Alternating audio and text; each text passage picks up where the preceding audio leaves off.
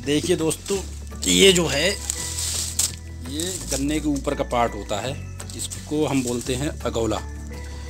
और ये अगौला इस मशीन से खांदा जाता है, ऐसे करके इसमें डाला जाता है, थोड़ा ज़्यादा ज़्यादा लगा के। और फिर क्या होता है, ये गाय भैंस को डाला जाता है भूस के साथ मिला के या थोड़ा सा चारा और अलग से मिला के। तो उसमें क्या होता है उससे भैंस बहुत पुष्ट होती है, और उसको बोलते हैं मशीन। वैसे तो किसी भी उपकरण को मशीन ही बोलते हैं। लेकिन इसको बोलते हैं कुटी खांदने वाली मशीन। ठीक है? ये है मिस्टर कुलवीर सिंह। इन्होंने एक कविता भी सुनाई थी पहले। आज ये दोबारा से एक कविता सुनाएँगे। दोस्तों, ये है गन्ना। और इसको ऐसे कर खाया रहा अभी मैं कविता भी सुनवाऊँगा आपको। उससे पहले मैंने कहा गन्ने से आपका पर्चा करवा दें देखिए बहुत मुलायम, नरम गन्ना है, मीठा। और रसीला अब कब तक सुनवाऊँगा पहले गन्ना खा लूँ, मज़ा ले लूँ उसका। देखिए मित्रों, ये इस पर धार लगाई जा रही है, पत्थर के थ्रू इस पर धार लगाई जाती है, और ये फिर गणासी इस अगोले को धड़ा धड़ धड़ा धड़ धड़ा धड़ खानेगी बहुत मज़ा आएगा, और इतना ही गाय भैंस को भी मज़ा आता है फिर बाद में।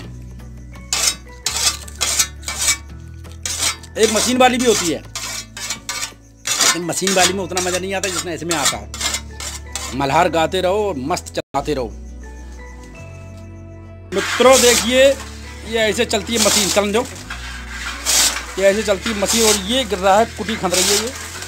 इसमें भूसा भूसा मिलाया जाएगा, फिर खांदा जाएगा। और मिस्टर कुलवीर सिंह हाँ। ये आपको एक कविता सुनाते जाएँगे। चलिए, सुनाइए भाई साहब।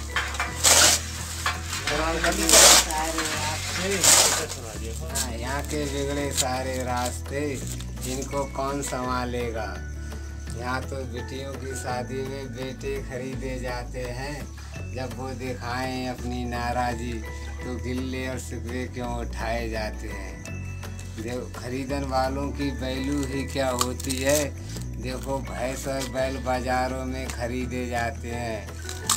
हल जोते हैं बैलगाड़ी हैं फ्री पैना खाते हैं। जब बूढ़े हो जाएँ तो मांस बेचकर अपना दौलत की कीमत खो चुकाते हैं। यहाँ के बिगड़े सारे रास्ते इनको कौन संभालेगा? ठीक है? दोस्तों यहाँ पर जो इन्होंने पैना बोला है वो पैना होता है जिससे माल लगाई जाती है। जिससे बैल और भैंसे को मारा जाता है।